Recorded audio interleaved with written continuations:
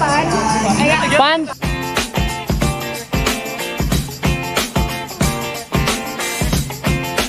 Sup, kakabsa?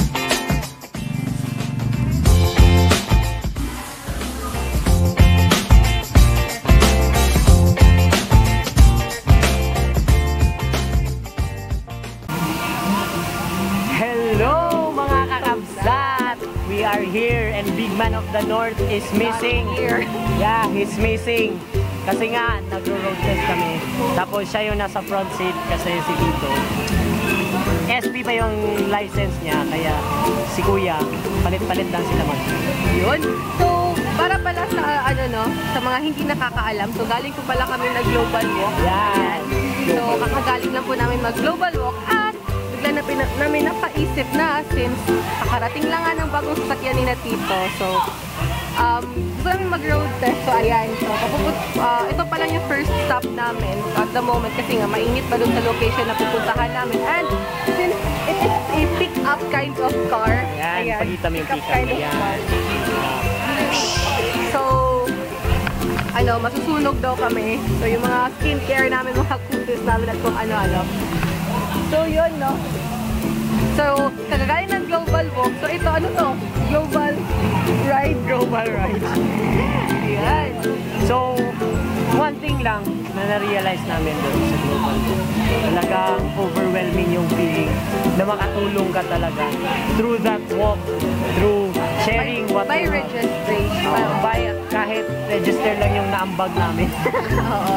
At least, no, marami kaming dreams, no? Maraming dreams na At isa pa, nakaka-amaze din kasi nga, karamihan sa mga graduates natin na scholars last sem, no, may cum laude at may, di ba yung isa is engineer na talaga, mine, mining engineer. Mine. Mining engineer, oh. Kakapasa niya lang po ng board exam. So, amazing, no? Um, Ayan, sumigaw. so, yan na po yung mga pangyayari sa likuran. Ayan, ayan. Ayan. So, no, yun na nga. May nakaka-amaze kasi nga, yun po ay bunga po ng ating tulong sa ating mga scholars. Ayan, nag-blur po ang ating mukha. Ayun. So, yan po ay bunga ng ating tulong sa ating mga scholars. At bilang um, bigay ng mga scholars sa atin, yung kapalit is nag-aaral sila ng mabuti. So, nag-aaral ka ba ng mabuti? Hindi ako scholar. Ay. so, yan pala yung ano, rason Hindi. Kaya hindi nag-aaral ng mabuti kasi hindi scholar. hindi, di ba? So, di ba kailangan natin maging model of excellence? Ayun. So, sila dahil wala silang hindi nila kaya na pag-aralan pag-aralin ang sarili nila or kaya ng family nila so by being a scholar is binigay nila yung best nila nag-aaral sila na mabuti at yun na nga ang bunga ng kanilang pagsisipag di ba? Yes, of course. Kaya amazing lang talaga na tumutulong ka, no? Yung feeling na hindi mo alam kung kanino mapupunta yung ano, yung binigay mo.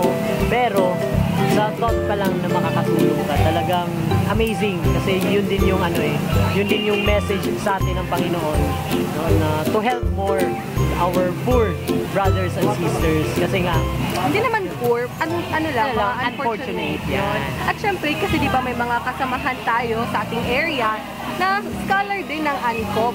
So, yun. So, maganda din yun na nakikita natin na sa kanila napupunta yung mga ganung bagay sa by registration.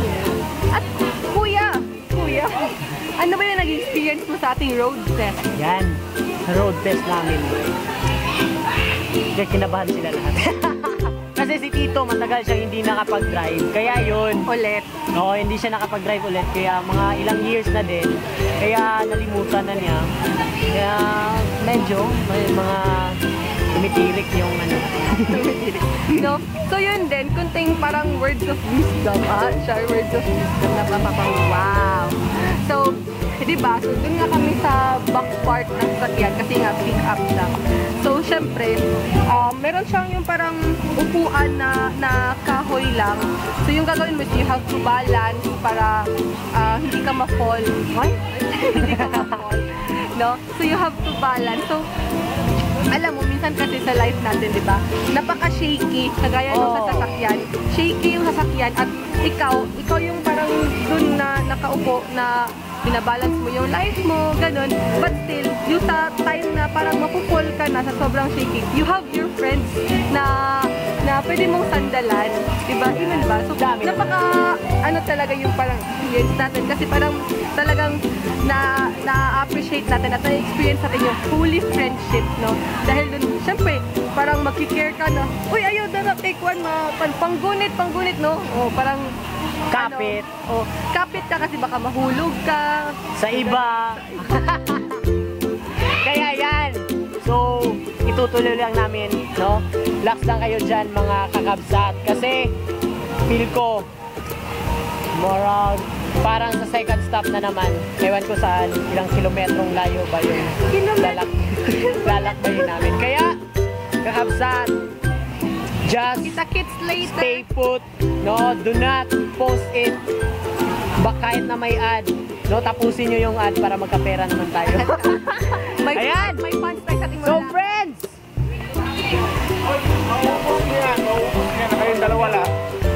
Hi, friends! So, babalik kami kakabsat. Huwag mo na tingnan, mamaya na. Alright, mga kakabsat, here we go again. So, Ayan. no, nagigdi, guys. So, totoo na talaga to. Pupunta na talaga kami kung saan kami talagang dapat pumunta.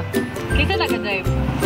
And Ay, Jabay Jaggy talagang si Kuya na yung ano, magdadrive. Alam mo ba, Kuya? Kuya Martin. Napapatiwas tayo na yung ano namin, yung So, okay na.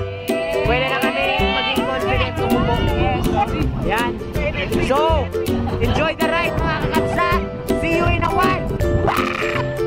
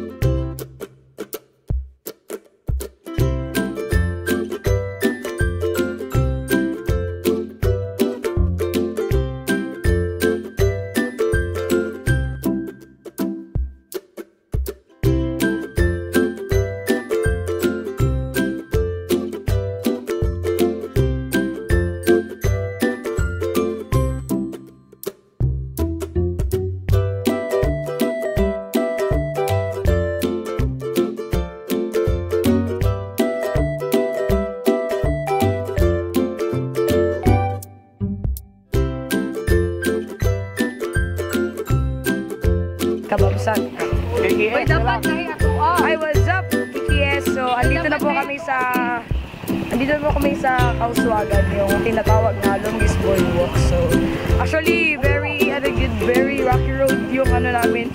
Yung pag-travel namin dito, ang lakas. Sabi, ang bilis magpatakbo ni Kuya Martin, hindi may nakala na. Pero para sa amin, eh, wow, mapa- mapapa, sabi ka, wow, because of the So, pero ito po yung kauswagan, ito po yun. So. Tsaka yan dun po yung mga kasama ko po. So, yan po. And, ito po yung ano, tinatawag na the longest boardwalk. Andun po siya. Pero, I think, ano, hindi siya medyo mataas kasi parang hindi lang. Pero,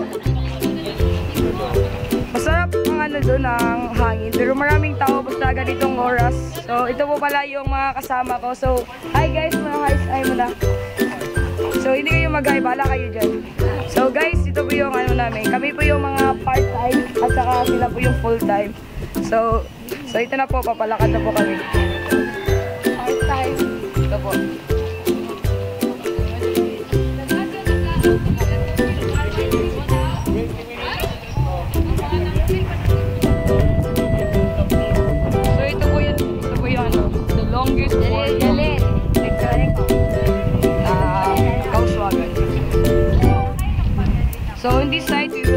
Kauswagan Municipal Children's Park dito.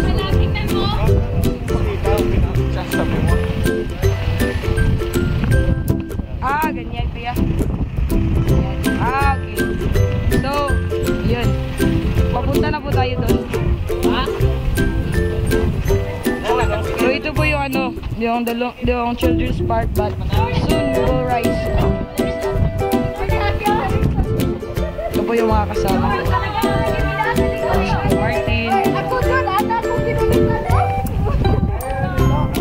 Po si Tita, Tita Rupa, yung wife ni Tito Bubu, yung high school. Ayan. Accordingly. So, ito po yung entrance and yung exit. Yun. Kita ano yung nakikita, buksan yung mata mo. Ayun po yung entrance. So, ito na po. May dag actually, dagat po ito. So, may daanan din. Mga barko na hindi umaandar. Ay, bangka. Bangka pala. Kala ko barko. Barko yung sa amin eh. So, masarap dito mag-relax kasi mahangin po dito. Pero may mga tindahan dito pa hindi pa nakabukas. Mga around 4 p.m. pa siguro. So, may barbecue, merong ano, mga side ganyan, ganyan. Pero dito po yung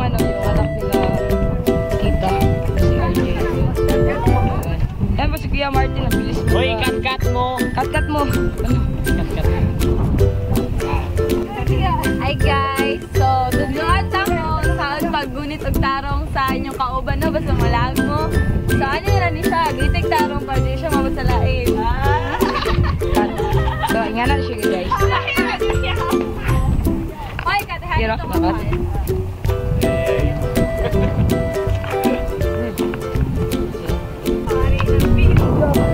Ano ba yan? Ang daldal ko na kanina pa. Wala pang nare-record. Ayan, sige. So, I'm here at the longest boardwalk here in Mindanao. Baby ko. Here in uh, Lanao del Norte, Kauswagan. So, welcome back again. Dahil-? Bakit? Ah, sige. Uswag means forward. Uh, uswag so, means pa-uswag tayo forward. dun, pa-forward tayo. So, let's let's go forward. yeah, Ah, 700 meters. meters ang haba nito KKS. So ayun. Ako ay masaya dahil nakabalik ako sa dagat. Yes. From the mountains of Cordillera now to the sea here in Mindanao. With my YFCs and our cohort, high school base coordinator. Uh, nag-test drive kasi kami ng sasakyan nila tita.